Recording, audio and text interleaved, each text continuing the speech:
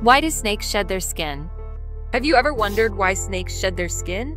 Today, we're answering that question and more. Let's get started.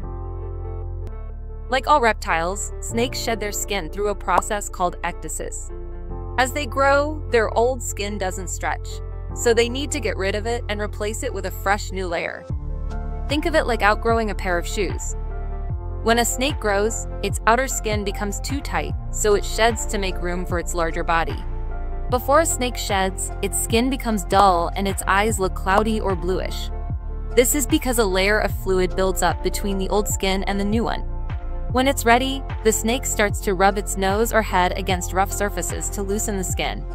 Once the skin starts peeling off, the snake wiggles out of it in one piece, like taking off a sock.